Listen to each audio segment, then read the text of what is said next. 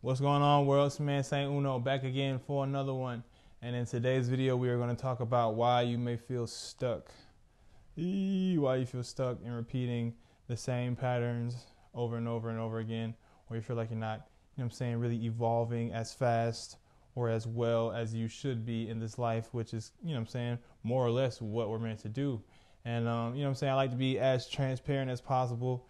And um, when I'm on these videos, and lets you know that it's not like when I'm teaching or doing whatever I'm doing, it's like it's not from a perspective of like, oh, here's the knowledge for the underlings. It's like this be stuff that I be experiencing in my actual real life. And a lot of times I be talking to myself. It's like, hey, like this is why you're experiencing blockages. This is why you may be experiencing feeling stuck. And um, you know what I'm saying? When I can kind of wrap my head around the concept or why you know what I'm saying, certain things or start to notice the patterns that lead to me, you know what I'm saying, experiencing these blockages or feeling stuck or whatever, or whatever the video may be about, you know what I'm saying, is that's what leads to me sharing with other people in case you are going through the same thing. And we can all, each one teach one, learn and grow and develop together. But um, the main thing to always remember is that um, it's all like it's like knowing something and then actually practice practicing something it's like two whole different things. Like that saying, if you knew better, you do better. I don't I don't believe that at all. It's like we be knowing better a lot of the times, but like doing better requires you to actually do stuff. You may know something intellectually, logically, you may understand certain concepts, but when it times to, when it comes time to actually implement these into life, shit can get spooky. You know what I'm saying? Old ha- habits and traumas and patterns may start to play out. You know what I'm saying? When you know you should be doing, you can get like to this. It's like you're in the sunken place, right? Where it's like you you get kicked out of the control seat of your body, and you see yourself. You're like, all right, I know this is what I'm supposed to do, but for whatever reason, be it fear, you know what I'm saying, insecurity, lack of confidence, whatever it is, you just remain frozen and you remain stuck and you don't actually act on the thing that you know better supposed to be acting on. And it's like, damn, it's a very, um, it's a very, uh, it's something I struggle with, you know what I'm saying? But no more. I ain't, I ain't gonna put that out there. I don't, I'm making this video to help you as well as myself so we ain't gotta deal with that no more because it's 2023. It's time to separate. It's a seven year. We gotta separate from old habits and old, you know what I'm saying, things that don't necessarily serve our higher purpose. Uh, us being so we're in the seven, the uh, the the the angel aspect of the of the number seven, where we're you know I'm saying looking down on ourselves and we're like, yeah, you know I'm saying I'm using this like a bitch, not like in the inverted seven when you're in your demonic natures and you're like, oh no, I'm under control by all these human traumas and human uh, feelings and emotions and ah, and you just end up acting demonic. You know what I'm saying? Playing out um, situations of being in hell, which is any situation that you repeat over and over and over and over again. That's a hellistic nature. So you don't want to be on the inverted seven. You want to be in the higher angle seven, where you're saying, no, I'm controlling this human flesh vessel. I don't get controlled by it. You know what I'm saying? So um, the reason why you may feel stuck is because um, you may be avoiding friction, right? So when we think about light, emitting our own light, right? Um, or just like the physical, oh, I wanted to get like a, it's cool, I don't need the actual lighter. If you think about a lighter, right, you gotta flick, you gotta flick the whatever, the flintstone, you gotta flick a lighter, cause that friction for it to combust and produce a flame. You know what I'm saying? If you want to start a fire in the woods, which I've never done, I'm not a Boy Scout, but you know what I'm saying? When you see them do it on TV and stuff like that, if you want to start a fire, you got to rub those logs together create that friction. You know I'm saying? Even inside a light bulb, um, the electric current goes through the, the filament or whatever and it creates friction. So this lets us know that whenever we're creating light, friction is required. And this isn't only speaking about the physical um, manifestation of light. This is um, this is metaphysical as well. So when you're an individual who doesn't spark your own light, you're dull and you're not able to inspire and manifest and attract and, you know I'm saying, kind of navigate, be a shining light, be a beacon of light, be an inspiration to other people um, in this world because your light is very dull. You're not sparking your own light. And the reason why you're not sparking your own light is because you are afraid of friction. And friction, it comes in many forms. It comes in the form of um, wanting to stay in your comfort zone. It comes in the form of avoiding conflict that is necessary. It comes in the form of people pleasing and always putting your other people first to, as to not cause too much friction between people. Um, you know what I'm saying? Doing the same things over and over again and expecting a different results because putting implementing those new actions, doing better is too scary or too intimidating to you and you feel like you actually can't do these things. All these um, ways, all these things are ways that we avoid friction in our life. And even with um, a lot of, you know I'm saying, quote unquote, uh, new age spirituality online and things of that nature, there's a lot of people who may uh, use certain buzzwords and phrases like, oh, like I'm an empath, or you know I'm saying. If it's the people, um, I'm, I'm getting away from low vibrational people, or if it's not serving me, it's not for me. All these things that sound good in theory, but what they are actually are just basically ways for people to avoid friction in life. You know what I'm saying? And not to say that there's not any truth in any of this. Like, of course, you know what I'm saying. You got to create boundaries and things like that. But for the most part, teamwork makes the dream work, and friction is necessary when we're talking about dealing with people in the world. Like there's you're not you're not going to have a really bright shining light if you're only in isolation. You know what I'm saying? You got to be bumping, you know what I'm saying, with other people's minds, other people physically. You got to be out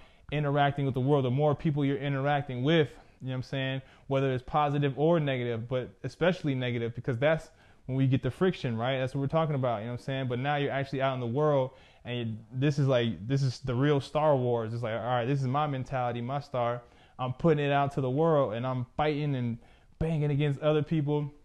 And I'm so confident in that that I'm not going to let other people kind of diminish me and be afraid to to shine my star, you know what I'm saying, to uh put my mentality out there because it makes other people feel weird or I know other people are going to disagree with it. No, these are all necessary energies you need to go through in order to create the friction to really spark your light. So, a lot of times, avoiding the conflict, avoiding the uncomfortable situations, avoiding, you know I'm saying, the discomfort. And I got like, um, you know I'm saying, my Mercury's cancer, my moon cancer, and my sun cusp cancer, you know I'm saying? So, you know, cancer is all about the comfort zone and creating comfortability, which is good for certain things in terms of like nat- nurturing and like family and, you know what I'm saying, creating safe spaces when it's time to rest, which is all necessary. But I myself can get maybe too indulged into these energies where I'm always um, trying to make myself comfortable and also make others comfortable and avoid a lot of friction. You know what I'm saying? Mars falls in Cancer. So Mars is the war planet, all about, you know what I'm saying, going to war and you know what I'm saying, let's go. Like we they we want to smoke, you know what I'm saying? So they hop into the friction, um, which, you know what I'm saying, makes them more, you know what I'm saying, like when they talk about like a leader and stuff like that, it's because of that. It's like someone who can kind of hold their own out amongst others and not really give a F about how it's gonna make them feel, you know what I'm saying? And there's a time and place for every energy. It's not good or bad, but this is just me, you know what I'm saying, letting you know uh, one of the things that I had to deal with. And even if you're not a cancer or anything like that, it's, it's not always like that. Um, there's many instances of people who just, you know what I'm saying, whether they're introverts or, you know what I'm saying, they got a lot of insecurities and traumas. There's lots of uh, different reasons why you reasons why you may be avoiding friction in life. But just remembering this allegory will help you kick you out of the sunken place the next time you're in a position where it's like, oh man, I really want to say this is on my mind, but I'm afraid of this, or oh, I really don't want to do this, but I don't want to rub someone the wrong way. Think about the allegory of the friction, the lighter, boom, the wood rubbing together, you know what I'm saying? Start the fire, the electricity vibrating the filament, you know what I'm saying? Use that friction.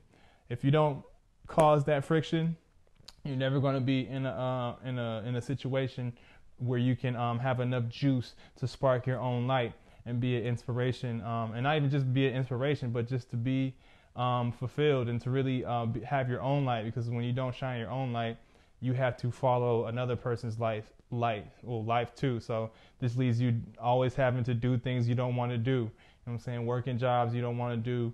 Um, being in relationships, romantic or otherwise, that you don't really want to be a part of because you didn't have the courage, the gumption, the oomph you know what I'm saying, to go and cause that friction, which is necessary to produce energy. All we're talking about is energy, right? You know what I'm saying? People always want to say, oh, everything is energy. You know what I'm saying? Well, if everything is energy, you got to look at how energy is produced.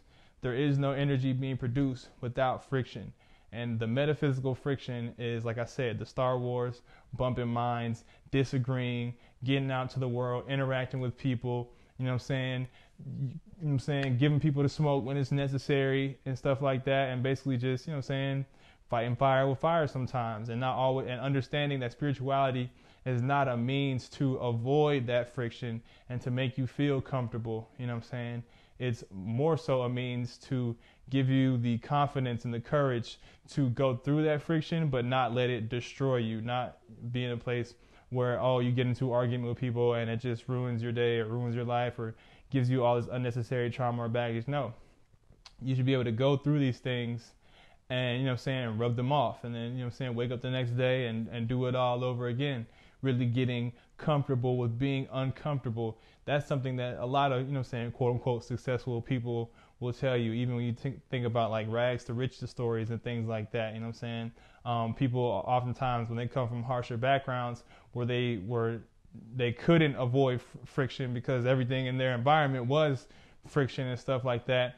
Um, you know what I'm saying? It's a gift and a curse to everything. It might have been chaotic. It might have been, you know what I'm saying, uncomfortable as a childhood and stuff like that. But, you know what I'm saying, growing up, that kind of gave them the necessary tools to always spark their own light and to always be in a position where it's like, I ain't got to, you know I'm saying? You don't have to walk around on eggshells or walk around in fear all the time because, you know I'm saying, going to battle and causing friction is just an what you it's like second nature at this point.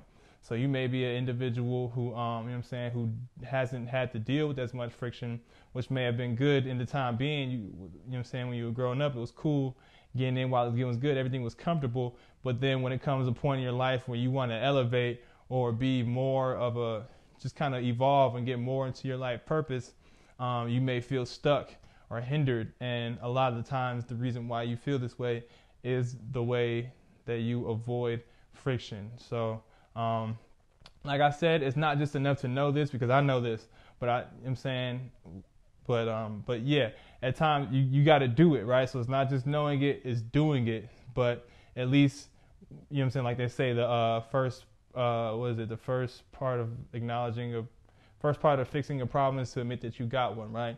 Um, you know what I'm saying? The first part to actually walking the walk is to understand that okay, this is something that I need to do. So now when you because otherwise if you just let it go unchecked you may not even understand like oh why? You may be thinking it's a good thing to always you know i'm saying being comfortable and be in your safe space and all this kind of stuff and not rub people the wrong way and golden rule and treat everyone with respect and yada yada yada dee dee dee dee da. But um, if you're doing these things and you're experiencing blockages and you're feeling stuck this very well may be a reason as to why. So now at least like i said i can't do it for you you know what I'm saying? You gotta, you still gotta do it yourself, but at least now you have the tool to call that thing a thing and be like, oh, okay, this is this is what this is what you know what I'm saying. Saint Uno was talking about in that video. Am I going to just ignore it and know better but not do better, or now that I know better, actually do better? You know what I'm saying? And I think you will. I think I will. I think we're all on the right path. And also, it's important to not be too hard on yourself too, because we all have, like I said, there's a gift and a curse to everything. So I'm saying we all have different strengths and weaknesses, and we're all on a different part in our journey. So you you really do yourself a disservice when you may fall short in certain areas, but you beat yourself up about it. So it's like you got to have balance, right? You don't want it because we'll get into like this self masochistic, oh, I ain't shit, I'm terrible, I ain't nothing, I'm terrible, I'm weak, and you'll just kind of beat yourself up because you know that you're supposed to be doing a certain thing, but you may not actually be doing it yeah, but that's okay. Like nobody's perfect, and we all got, you know, what I'm saying we all got to fight this uphill battle called life. So this is not to say that oh you need to beat yourself up about these things per se, but at the same time on that balance scale, don't just ignore it and be like, well, this is just who I am. This is just the way I, you know, what I'm saying that's for that person, but I can't really do that. No, you can do anything. You know what I'm saying? Other people may have different strengths, but they also have different weaknesses than than you. So everybody has something that they're dealing with don't beat yourself up too much about it because that's not going to help. Um, be gentle with yourself, but also be stern. You got to be gentle and stern. You know what I'm saying? There's day and there's night. You know what I'm saying? There's there's being awake and there's being asleep. You know what I'm saying? There's always everything in life. inhale, exhale. There's a time and a place for everything. So it's not just to always be hard on yourself and oh you you ain't you ain't doing this right, you ain't doing that right. No, no, no. Acknowledge the problem, but also be gentle with yourself, but also be stern with yourself. And I have the confidence that you can do it, and we will climb this mountain called life together. Thank y'all for watching. Catch you on the next one. Peace.